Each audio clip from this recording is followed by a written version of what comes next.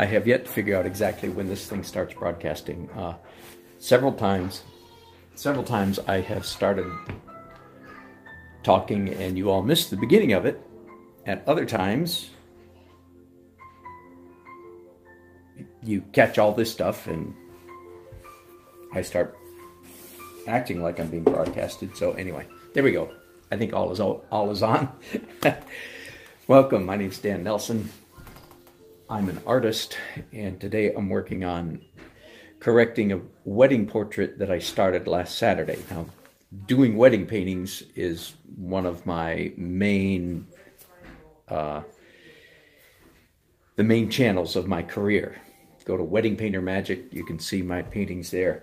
Now, in a, in a way, I've sort of painted myself into a corner, to use that very appropriate word picture. Uh, I used to do you know, a, a view of the reception in this case. And little by little over the last year, I've gotten myself into doing a full on portrait. Again, a portrait the size of my thumb. That's insane. Um, I'm not sure how to get out of it. Um, I, uh, anyway, that, that be that as it may. I, I have to finish this whole painting. And normally I finished my wedding paintings there on site that night. This this reception ended, thank goodness, at midnight. I'm glad it wasn't any earlier than that, I, or I would really have been in trouble. Um, but it was, and again, I have to be careful because these people might watch this video. it was a little more challenging evening than normal.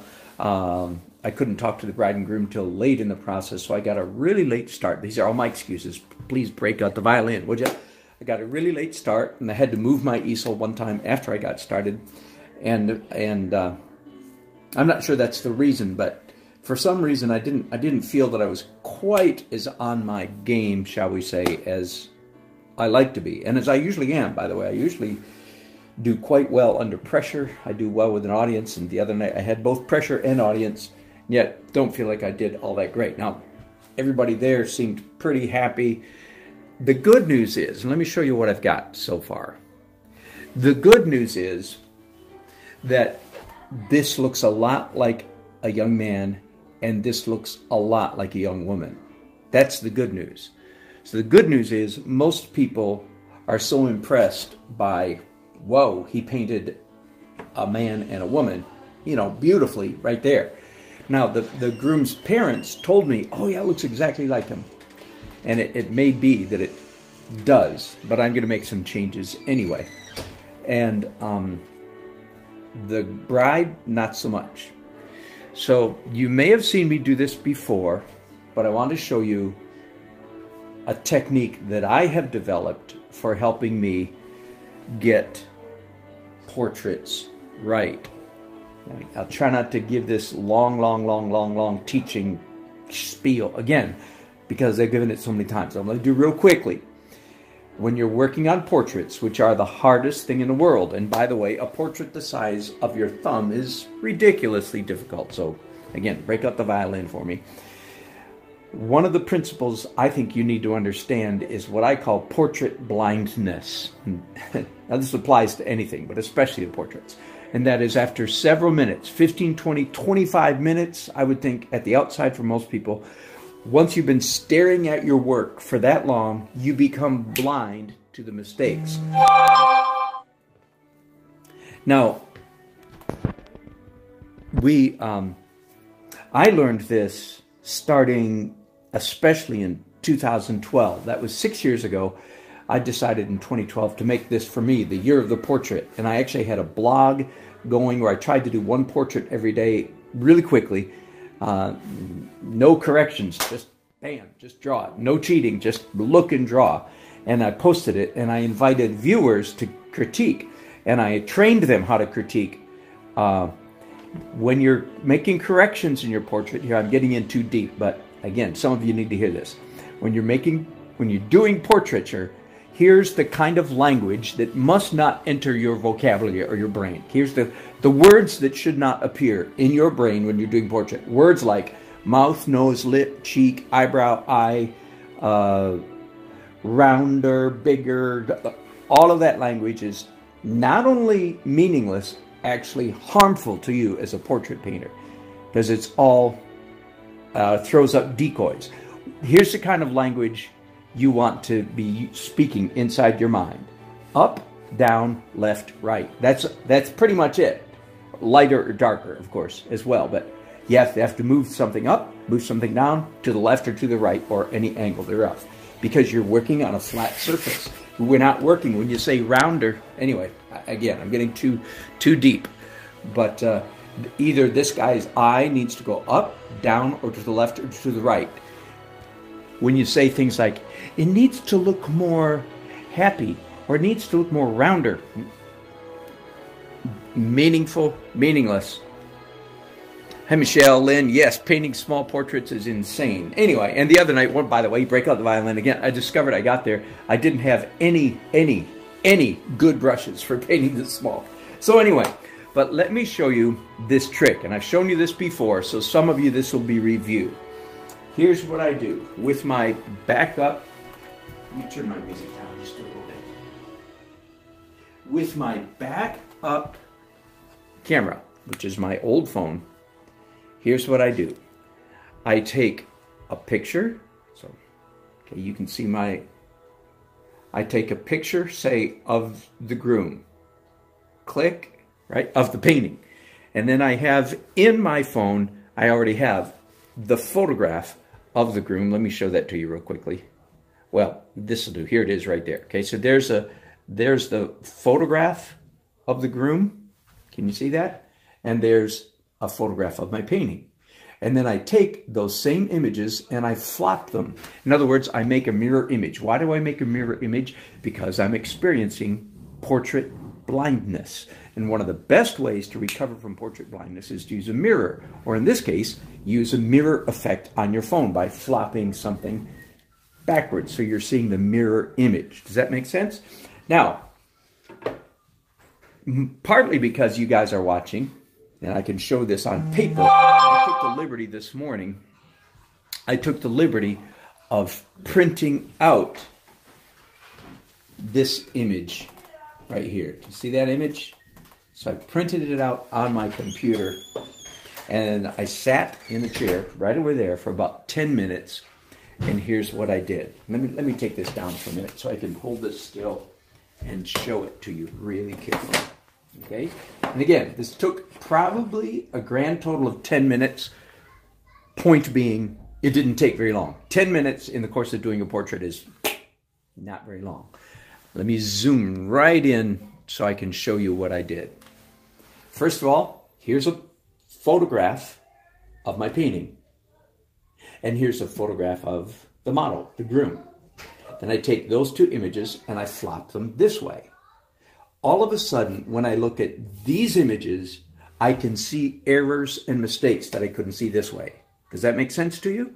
This is a mirror image. You can accomplish the same thing by looking at your painting and your reference file, your reference, in a mirror the advantage of printing it out on paper is like, oh, wait a minute, now I can start making notes.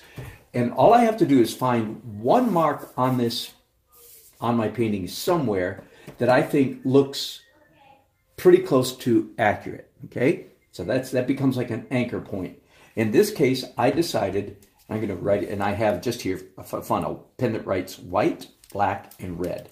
So I decided that the bridge, the, the, the, the line of his nose, I drew this right here, was pretty accurate. I'm going to say, yeah, I'm going to say that's my starting point.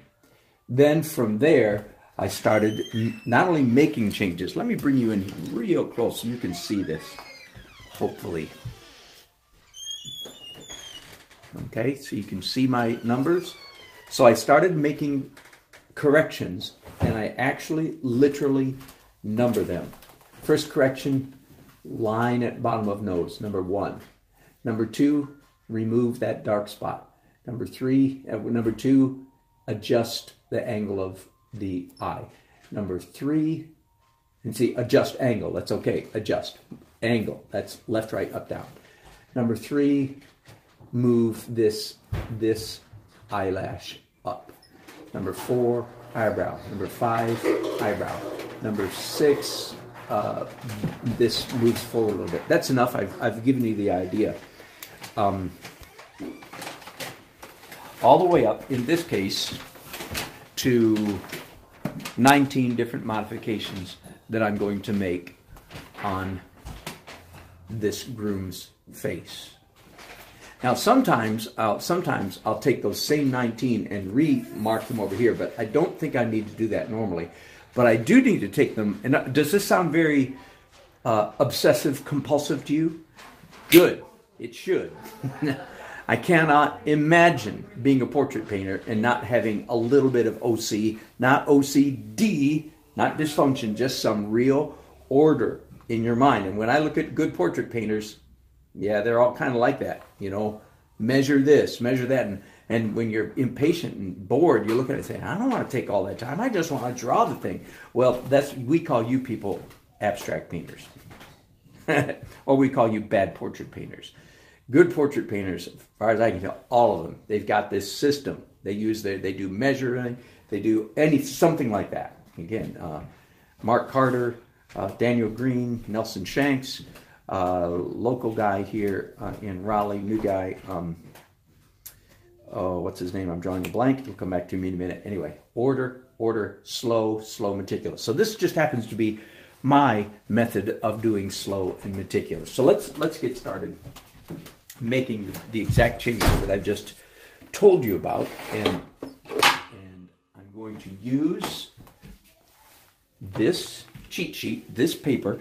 By the way, um, one of the benefits of this approach to correcting, um, like there are other ways to get portraits correct. Grid, right? Using a grid, tracing, projecting, which a lot of professional, most professional illustrators do that. The problem with that, what I call cheating, and all cheating is legal. I don't want, need any comment saying it's not cheating. Well, what I call cheating is anytime you're using an artificial means to, to get the image on there, like tracing, carbon paper, grid, uh, anything like that. Okay, um, that's what I call cheating. It's all legal, but you have to remember when you do that, your powers of observation are deteriorating. Okay, now I feel I would evidently I was not really on my game last Saturday night. I've already given you some. I didn't have the right brushes, anyway. But I, I, I have no excuses. I just have say la vie. That's the way it goes. Okay. The the good news is I have the painting and I can finish it. I'm going to get it on my game. I'm not going to deliver this painting until I'm very happy with the likeness. Okay. So let's get started. And I'm going to. Um, can this adjust? Uh, uh, uh, hang on. There we go. Um, and again, I'm going to use this. So, so I have to translate. Mark number one is nostril the nose, and that means I'm moving it down here. So let me go ahead and pick up a small brush. This will be this will be my dark details brush. I have a number of brushes, and by the way, today I do have good brushes at my disposal, um, which will make this job a whole lot easier. This is what I did not have the other night.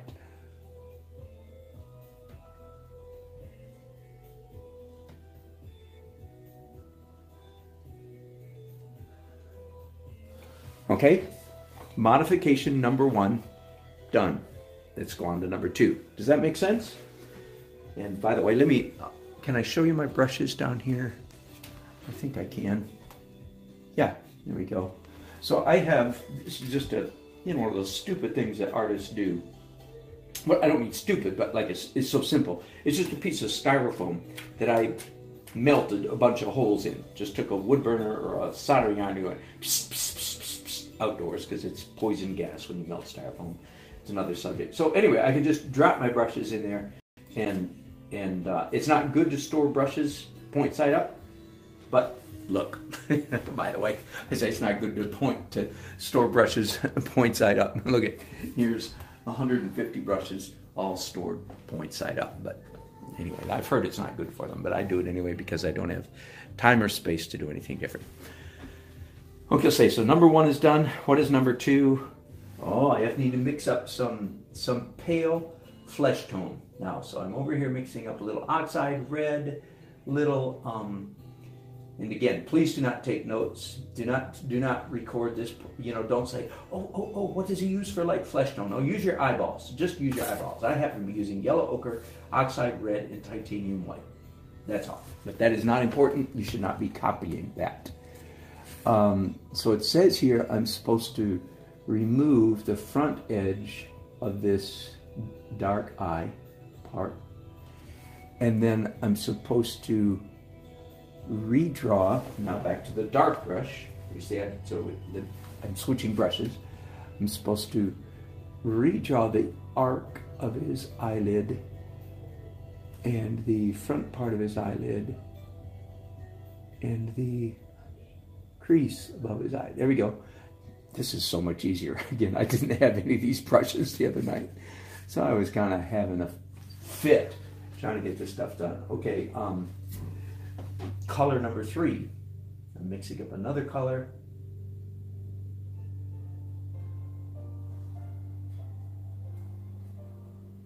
To the background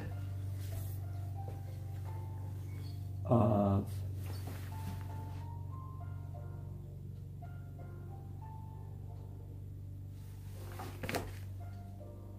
Oh yeah, this whole eyelash right here is completely erroneous. Erasing that, so to speak, erasing that completely, the old eyelid, eyelash, I mean, and then moving it up. How much? Wow. Quite a bit. This is one of the main mistakes that I made the other night in, in the groom. His head is tilted, and I had his head, head rendered as if it was straight.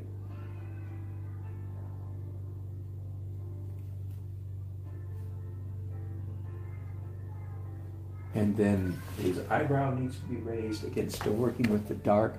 Now, I understand that everything I'm doing right now is going to become way too tedious for you guys to watch. I mean, it's not too tedious for me to do because my brain's going buddy buddy buddy buddy buddy. My brain's working really hard trying to get all this stuff done. So it's not hard for me, but I, I know that it would be much too monotonous for you guys to watch for any real length of time. Okay, now that's number three. Number four, the eyebrow, got it. Number five, this eyebrow. Oh my goodness. Okay, for one thing, it goes a little too long, so I'm to remove the end of it. I just want you to hear, and it's too arched, so I'm flattening out the top of it. I just want you to hear the uh, the process, the mind, the, the way my what my mind is doing. And look at my grit, by the way. That's what I tell my students. Never paint that way, right? Well, okay, never never hold your brush this way unless of course you're doing a portrait the size of a quarter or a nickel. Then yes, you can then yes, of course you have to hold the brush most of the time in the control grip. And look, I'm not painting with two hands. Yes, this is irritating to me. Um, okay, that's number five. Let me do, I'll show you one more. Number six. Oh yeah, slight adjustment. Um, this part of his forehead needs to come just a tiny bit forward.